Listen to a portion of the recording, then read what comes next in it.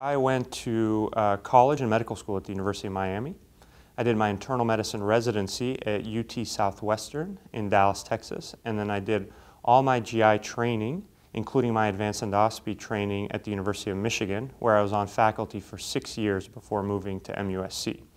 I came to MUSC because it offers a combination of a really tremendous history and uh, tradition in advanced therapeutic endoscopy, as well as the infrastructure necessary for me to conduct the research that I want to conduct to um, really affect important change in the field of therapeutic endoscopy. And it was rare in our field to find a combination of such tremendous clinical expertise and infrastructure as well as the research tools necessary to do what I want to accomplish.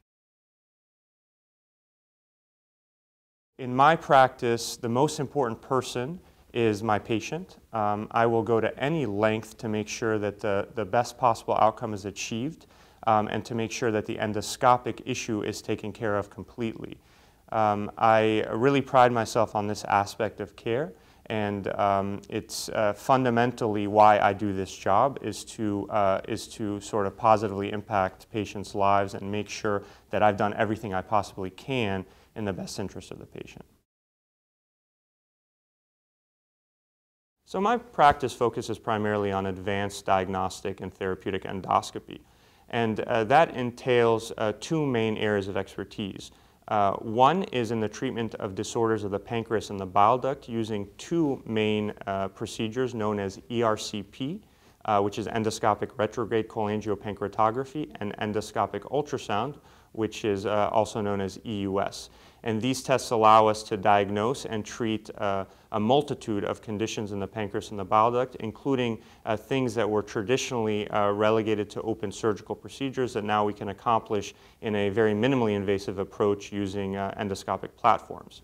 In addition to uh, my expertise in pancreas and bile duct disorders, I also focus on the endoscopic treatment, uh, primarily the removal of um, early precancerous and early cancerous lesions of the GI tract, which involves primarily uh, endoscopic mucosal resection of um, conditions like early esophageal cancer, um, polyps, and, uh, and early cancers in the stomach and in the colon as well. MUSC has a long-standing tradition of being um, a world leader in advanced therapeutic endoscopy. And that's one of the main reasons I elected to move my practice to MUSC is to be part of that tradition and hopefully build upon that tradition. I think MUSC offers a really unique environment where you have highly skilled endoscopic services, including, uh, including sort of world-class uh, endoscopists and highly expert and experienced endoscopy nurses and, uh, and support staff. In addition, uh, we have tremendous surgical expertise and uh, expertise in other areas such as radiology and pathology.